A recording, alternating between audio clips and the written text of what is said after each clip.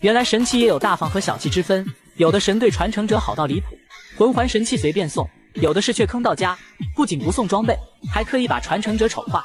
斗罗中魂师一旦突破百级成神，就不能再留在人间，而是要前往神界，然后神奇的寿命悠久，除非是遇到特殊情况，不然一般都不会死。如此漫长的岁月，导致神奇们也是相当的无聊，想着赶快找到继承者，把禁锢他们的神位退却。这些神奇中，要数海神最大方，对传承者最好。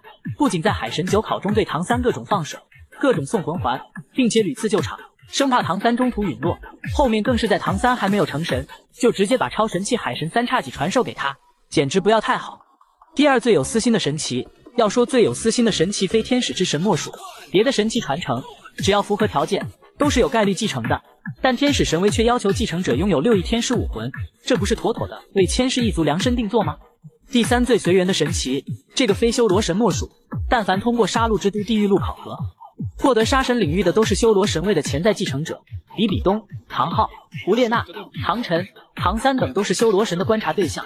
修罗神本着一切随缘，让他们自己发育。就算考核到唐晨那个地步被罗刹神干扰之时，修罗神也是无动于衷。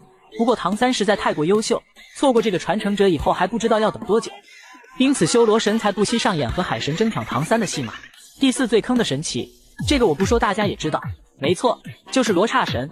作为传承者的比比东，在传承过程中不仅没有得到罗刹神一点帮助，还有要刻意压制自己早早到达九十九级的实力，导致憋屈的被唐三追着打，并且因为传承罗刹神位，导致原本貌美如花的比比东变得邪恶丑陋，简直不要太坑。